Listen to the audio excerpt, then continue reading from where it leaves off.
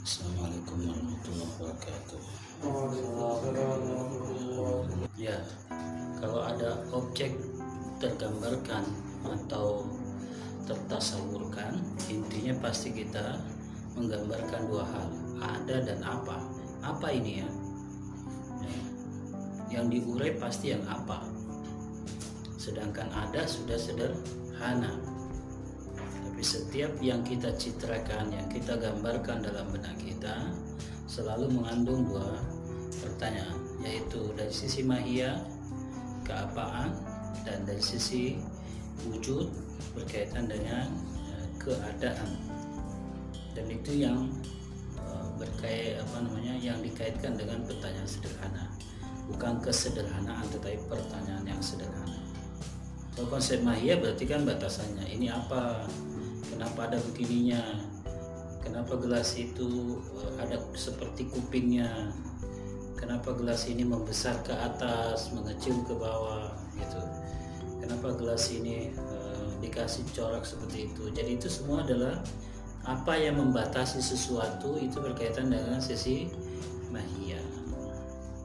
Kalau kita mengatakan ini gelas, tergambar dalam benak kita batasan-batasan secara subjek, kemudian kita kita predikasi ada. Jadi menunjukkan adanya yang kita batasi itu. Ada yang kita batasi kan, yaitu ke gelasan. Ada yang kita batasi yang kita sebut ke spidol.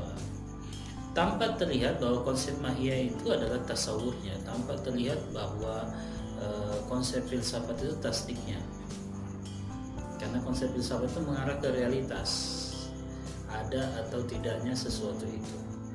Tapi kalau bicara tentang segi mahia ya kita mencitrakan dalam benak kita. Ketika kita masuk pada predikat dari apa yang ada pada konsep kita maka kita mencari apakah dia ada atau tidak.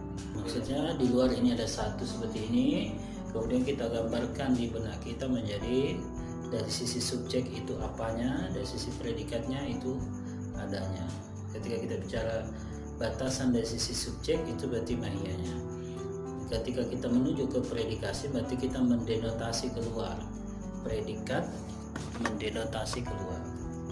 Subjek itu mengurai ke dalam. Konsep subjek namanya ini walaupun tidak disebut di sini tapi di belakang akan di bagian belakang akan dibahas konsep subjek itu akan mengarah ke dalam konsep itu sendiri. Kalau konsep predikat konsep predikat itu ke luar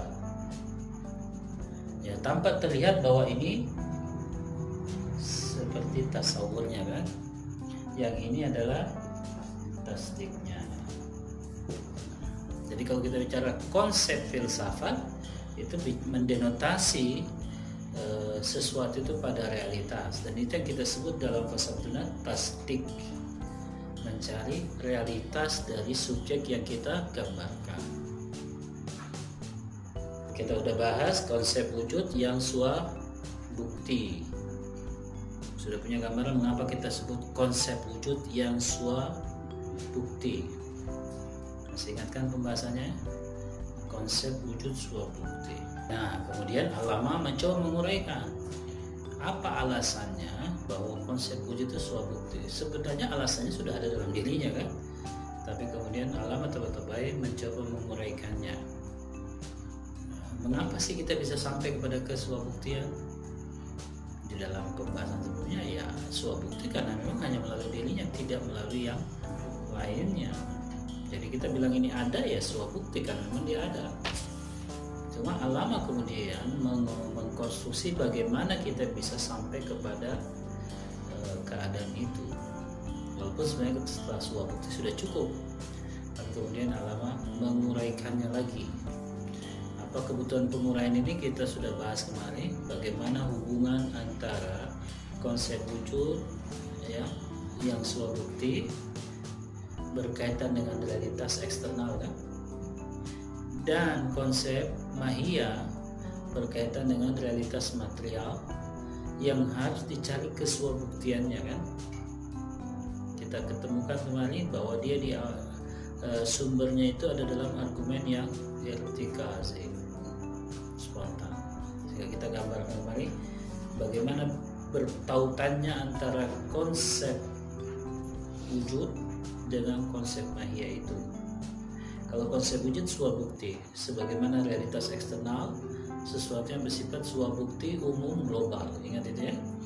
Ketika kita bicara tentang realitas material sumbernya ada pada argumen swap, uh, ertikasi argumen spontan ini pada awalnya tidak. Kita betul-betul menguraikannya dulu secara usuli kan?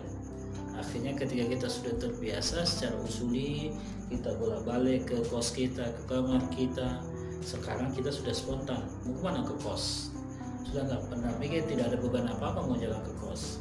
Kita otomatis sudah sampai ke kos atau ke kamar-kamar santri. Ya kalau kita bilang manusia kita konsepsi kemudian dia adalah secara logika kita sebut dalam konsep logika universal.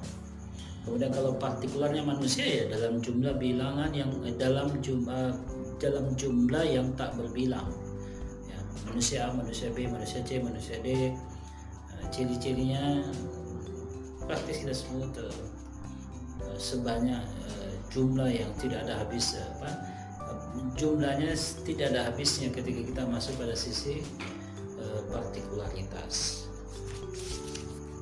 Ya kita lihat manusia ada perempuan ada laki-laki ada tua ada muda kemudian kita lepaskan ciri-ciri mahianya itu kita apa kita lepaskan ciri-ciri partikularitasnya itu kemudian kita dapat gambaran universal tentang manusia bahwa manusia itu terdiri dari jenis kelamin terdiri dari warna kulit terdiri dari uh, tingkatan usia. Semua hal-hal yang spesifik itu adalah hal-hal yang partikular. Kemudian ketika kita masuk ke ciri universalitasnya kita mengambil sudut pandang yang sama tentang sesuatu. Itu konsep mahia jadi konsep mahia jelas menggambarkan kepada kita bahwa konsep ya konsep mahia menggambarkan kepada kita bahwa ada sifat universal mahia nanti. Ada yang disebut universal mahia. Putih itu universal dari putih baju putih itu universal dari papan tulis putih eh, kopiah putih jilbab putih lampu putih spidol putih ya mobil putih motor putih dan seterusnya maka putih sebagai putih yang mengandung makna mandiri dalam benak kita tidak harus terkait dengan ciri khas tertentu di luar. Putih ini segi mahia kan? Tetapi segi mahia yang tidak bercampur di luar. Maka disebut putih nanti itu segi mahia bebas. Karena dia tidak bercampur, tidak diikat pada baju putih, tidak diikat pada lampu putih. Jelas bahwa kita bisa menemukan satu penjelasan bahwa membandingkan beberapa hal-hal yang ada di luar secara spesifik pasti kita akan nanti menemukan ciri-ciri universalnya. Atau kalau kita sederhanakan semakin kita memasuki objek-objek spesifik itu pastilah kita akan dapat nanti titik universalnya kan? Semakin kita mengurai mahia itu kita akan pasti menemukan sifat apa namanya eh, hal-hal yang bersifat universal. Karenanya keuniversalan itu sesuatu yang ditangkap dalam benak kita dari hasil penguraian secara partikular. Begitu kan? Bukan sekedar diuniversalkan begitu saja.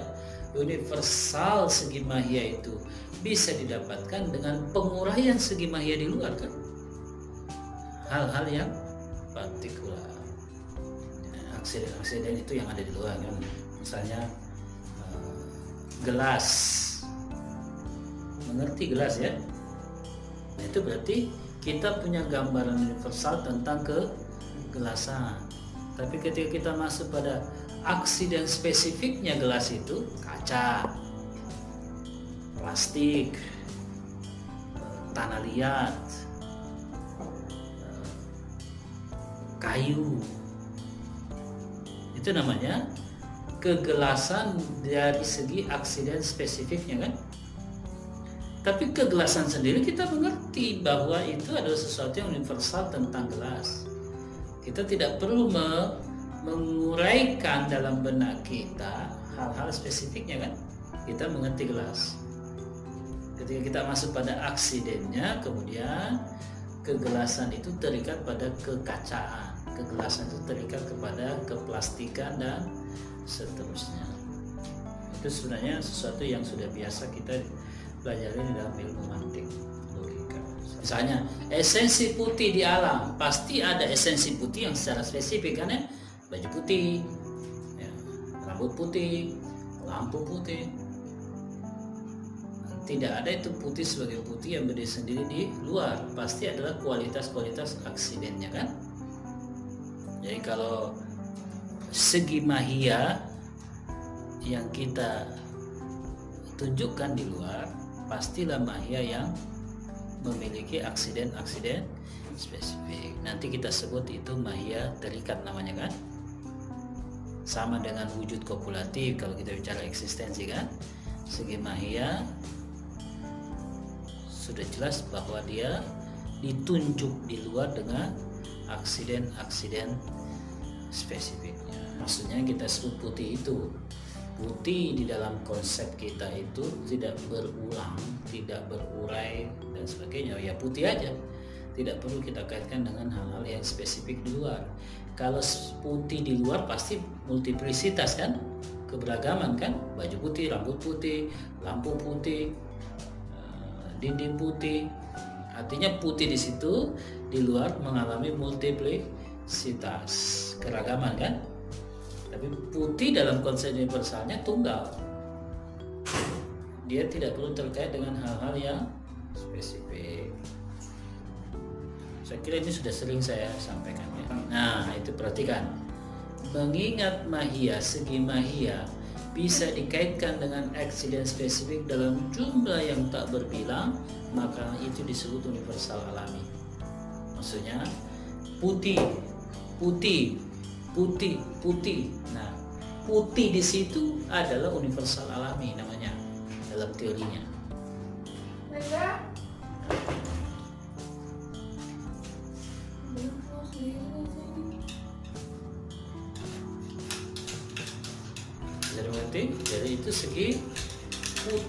bersifat universal alami perhatikan ada universal dan ada alami. Ingat universal ini segi di dalam konsep kan? Karena di luar itu sesuatu bersifat partikular. Nah, segi alami ini adalah segi esensi sesuatu kan? Maka saya bilang putih pada bajunya kahar itu universal alami. Maksudnya apa bersalami? Ya karena ini juga putih. Kita kan juga bilang ini putih.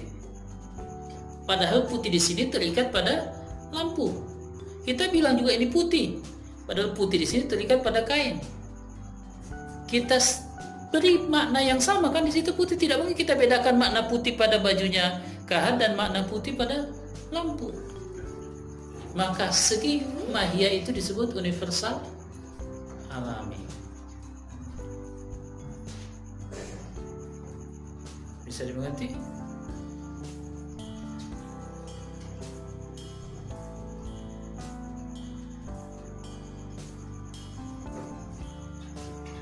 Apakah kita bedakan makna putih pada lampu, makna putih pada kain, makna putih pada spidol? Kira-kira di benak kita kita bedakan itu? Ada itu kan sebenarnya universal kan? Dalam konsep kita putih itu bersifat yuk tapi putih yang universal itu adalah sesuatu yang secara esensi ada di sini. Alami. Ada kan esensi putih di sini? Ada esensi putih pada baju? Ada esensi putih pada lampu? Putih yang bersifat universal di konsep kita adalah sifat alami yang ada di luar. Nah, itu menarik konsep universal.